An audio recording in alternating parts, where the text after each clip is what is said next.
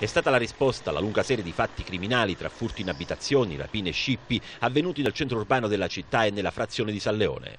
La decisione del maxi controllo è stata presa dal questore Giuseppe Bisogno di concerto con la prefettura. Un'attività straordinaria necessaria per dare così un importante segnale di presenza dello Stato. Dalle 23 di ieri sera e fino alle 5 di questa mattina la Polizia di Stato ha cinturato e setacciato Agrigento e i quartieri periferici. Ovunque posti di blocco e poi perquisizioni domiciliari, personale e veicolari, controlli a pregiudicati, sorvegliati speciali e cittadini stranieri. Particolare attenzione anche all'eccessivo consumo di sostanze stupefacenti e alla posizione di alcune frange di extracomunitari spesso coinvolte in violente risse. Impegnati più di 100 agenti tra squadra mobile, sezione volanti, polizia stradale, polizia amministrativa, reparto anticrimine di Palermo e con il supporto di due unità cinofile. Gli obiettivi monitorati sono stati le principali strade cittadine e i luoghi di ritrovo dei giovani. Interessato anche il centro storico tra via Atenea, Porta di Ponte e via Pirantello.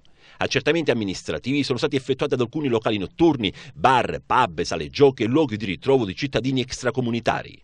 Nel dettaglio sono state identificate 247 persone, tre quelle denunciate, una segnalata alla prefettura di Agrigento per assunzione di sostanze stupefacenti, controllati 171 autoveicoli, 12 le perquisizioni effettuate, 5 gli esercizi pubblici controllati, 24 le multe elevate per violazione al codice della strada, 5 veicoli sequestrati, una patente ritirata per guida e stato d'ebbrezza. In materia di immigrazione 5 cittadini stranieri denunciati.